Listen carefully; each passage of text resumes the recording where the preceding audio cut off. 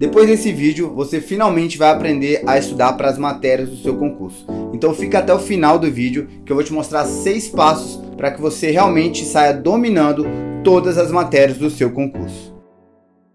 Eu sou Paulo Moreira, sou mentor e coordenador aqui no Irmãos Polícia e a gente ensina o passo a passo para você conquistar sua aprovação em concurso policial. E se isso te interessa, já inscreva-se aqui no canal. Então vamos lá, quais são os seis passos para você dominar a sua aprovação, dominar qualquer estudo? Eu apliquei isso, não foi do dia para noite. Fiz isso para passar na Escola Preparatória dos Cadetes do Exército, fiz isso para passar na Polícia Civil aqui do Distrito Federal, para passar no DEPEN, para passar para auditor do TCU. Então, eu construí uma metodologia de um passo a passo para você dominar todas as matérias. E hoje aqui nós listamos seis passos para você fazer. Então, o primeiro passo de todos, qual que é? Antes de tudo, antes de você começar, é você escolher o seu material. E eu gosto que você escolha apenas um material por matéria. Então, como assim? Então, vamos supor que você está estudando direito penal. Vamos supor que você fala assim: ah, não, eu vou estudar, eu vou estudar direito penal por, é, pelo professor do cursinho X, pelo professor do cursinho Y. Ou seja, aquela matéria que era apenas uma, ela se transformou em duas. E aí vamos supor que você fala assim: ah, eu vou estudar por material, por vídeo e por PDF. Aquela matéria que era apenas uma, você transformou ela em três, porque você vai pegar dois cursinhos e você vai pegar por vídeo aula e PDF. E cara, você percebe que se você fizer isso para 3, 4, 5 matérias, às vezes você era para estudar 12 matérias no seu concurso e você vai acabar estudando 20, 25 matérias. Daqui a pouco você está estudando mais matérias do que um juiz e você não está conseguindo passar nem para o seu concurso. Então você tem que ter muito cuidado. Primeira coisa, antes de começar a estudar, escolha uma, um material por matéria. Ah, vou estudar direito penal? Então vou estudar pelo cursinho X e estudar por PDF. Ah, vou estudar matemática, então vou estudar pelo cursinho Y e vou estudar por vídeo aula. Então escolha apenas uma forma de estudo por matéria, beleza? Agora que você já escolheu o seu material, qual que é o primeiro passo nos estudos? O primeiro passo aqui é você estudar a sua teoria. Então você vai lá estudar a teoria, seja leitura, se você estudar por PDF, seja assistindo a videoaula. É muito importante que você estude apenas de uma forma. Ah, vou estudar por, por PDF, então leia o PDF. Não estou entendendo? Aí vai para a videoaula, beleza? Então, o primeiro passo, estudou a sua teoria. Aí a gente vai para o segundo passo. Qual que é o segundo passo? Terminou a teoria do assunto, não é da matéria inteira. Então, por exemplo, você estudou direitos e deveres individuais e coletivos. Terminou a teoria desse assunto, você vai lá e faz 20 a 30 questões de cada assunto.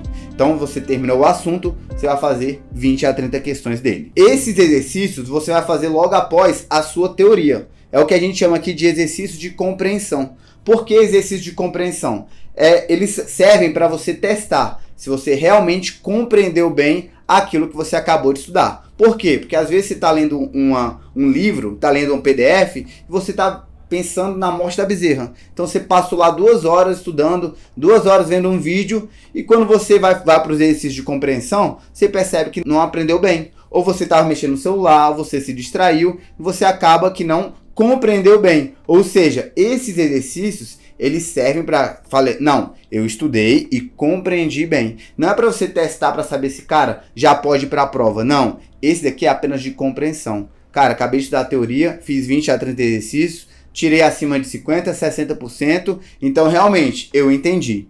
Massa, segundo passo foi concluído. Teoria, depois segundo passo, exercício de compreensão. O terceiro passo agora é o seguinte: durante o seu estudo da teoria, você não vai ficar fazendo resumo, você não vai ficar fazendo nada. O que, que você vai fazer? Você vai apenas marcar com grifar. Vai apenas sublinhar, grifar, destacar. Por quê? Porque não adianta você ficar fazendo resumo se você não sabe o que cai na prova. Não adianta você ficar fazendo resumo do que você acha que é importante.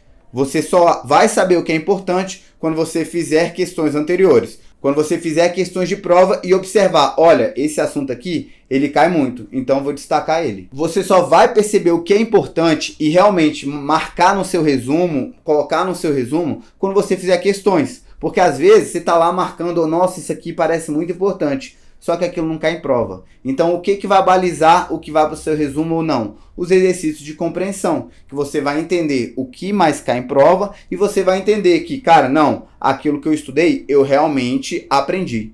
Terminou o exercício de compreensão, fez o resumo, entendeu? Então, os três passos iniciais. estudou a teoria, vai lá, 20 a 30 questões, depois você faz o seu resumo. E aqui na nossa consultoria, o que, que a gente recomenda? Cara, já pega o resumo que nós criamos para você e aproveite eles. Por quê? Porque a gente já fez milhares de questões, já pegamos toda a nossa experiência em concursos anteriores e já criamos um resumo bisurado. Você vai lá, imprime o resumo e vai marcando o resumo, vai personalizando o resumo para você, para sua dificuldade. Então, ah, eu errei esse, esse, essas questões aqui nos exercícios de compreensão, então eu vou destacar no meu resumo, vou marcar, vou anotar uma coisa a mais. Quarto passo agora, a partir do ponto que você já estudou a teoria, já fez questões, você já destacou o seu resumo, você não precisa estudar aquele assunto novamente mas você precisa revisar. Então, o quarto ponto é manter revisando. E, a, e, aqui na consultoria a gente faz a revisão espartana.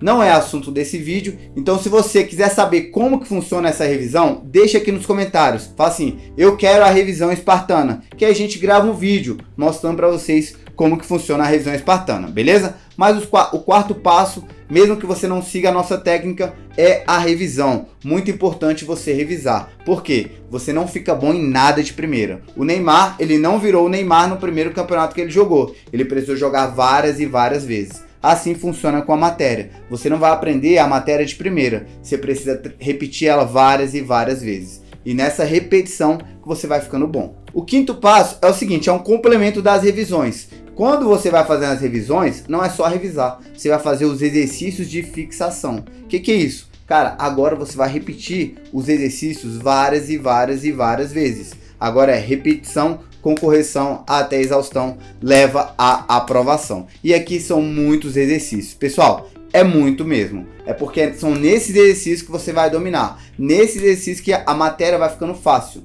Então você vai falar o seguinte: ah, meu Deus, essa matéria aqui tá muito ridícula porque eu já vi esse exercício 500 vezes. Já vi vários exercícios parecidos. Ou seja, agora você tá ficando bom na matéria. Agora que você realmente está dominando aquela matéria. E o último passo aqui é você complementar a matéria que você está estudando com outras, que é o que a gente chama de simulados. De tempos em tempos você tem que fazer simulados da sua prova. Para que, que servem esses simulados? Para você mensurar a sua progressão na prova como um todo. Não adianta nada você dominar direito penal se você está ruim em direito constitucional, em direito administrativo, em português. Você tem que ir ganhando, ganhando pontos em todas as matérias. Por quê? Cada matéria é importante dependendo da prova. Não adianta nada você dominar só uma, você tem que ser bom em tudo. Você tem que ser mediano em tudo. É melhor você saber tudo um pouco do que você dominar muito uma e você ser ruim em outras. Então, é, seriam esses seis passos aqui.